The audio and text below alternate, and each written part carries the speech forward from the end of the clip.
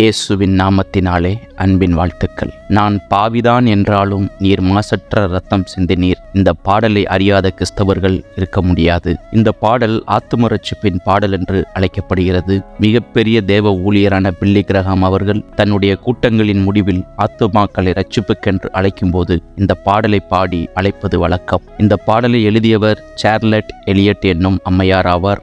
அவர் தனது முப்பது வயது வரை மிகவும் சந்தோஷமாய் எதை குறித்தும் கவலை இல்லாதவராக உற்சாகமானவராய் பாடி பறக்கும் பறவையைப் போல வாழ்ந்து வந்தார்.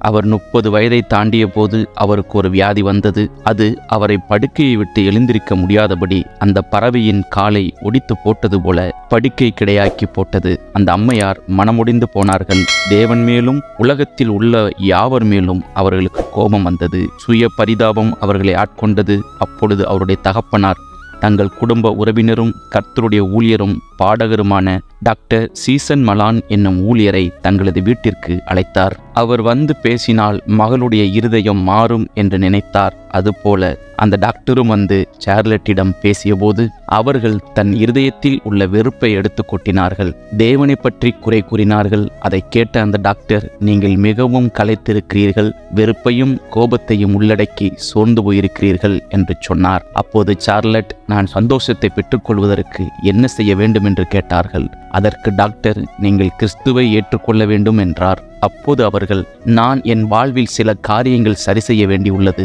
அவற்றை சரி செய்த பிறகு நான் கிறிஸ்துவை ஏற்றுக்கொள்கிறேன் என்று கூறினார்கள். அதற்கு டாக்டர் நீங்கள் இருக்கிற வண்ணமாகவே கிறிஸ்துவிடம் வாருங்கள். அவர் உங்களை ஏற்றுக்கொள்வார். அது மட்டுமல்ல உங்கள் வெறுப்பு கோபத்திற்கு பதிலாக சந்தோஷத்தையும் சமாதானத்தையும் தருவார் என்று கூறினார். அப்போதே அந்த அம்மையார் கிறிஸ்துவை ஏற்றுக்கொண்டு அந்த நாளில்தானே ரட்சிக்கப்பட்டார்கள் அன்றிலிருந்து அந்த நாளை தனது ஆவிக்குரிய பிறந்தநாள் என்று ஒவ்வொரு வருடமும் கொண்டாடினார்கள். பதினான்கு வருடங்கள் கழித்து அவருடைய சகோதரன் ஒரு போதகராக இருந்தவர் அவர் ஏழையான ஊழியர்களின் பிள்ளைகளுக்கு ஒரு பள்ளியை ஆரம்பிக்க விரைந்தார்.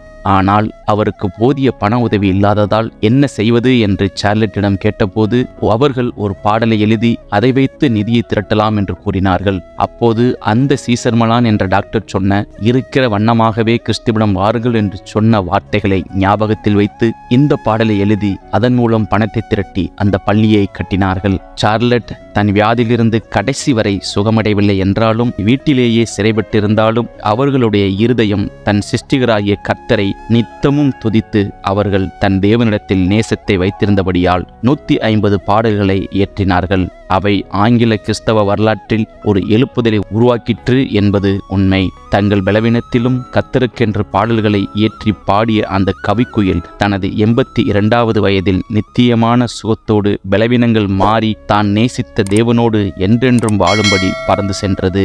ஆனால் அவர் இயற்றிய பாடல்கள் பல மொழிகளில் மொழியாக்கம் செய்யப்பட்டு இன்றளவும் பாடப்பட்டு வருகிறது. நான் பாவிதான் மெய்யாயினும் சீர் நேர்மை செல்வம் மோட்சமும் உம்மாலை பெற்று வாழவும் என் மீட்பரே வந்தேன் வந்தேன் என்ற பாடல் இன்றும் அநேக திருச்சபைகளில் பாடி தேவனை மகிமைப்படுத்திக் கொண்டிருக்கிறார்கள்.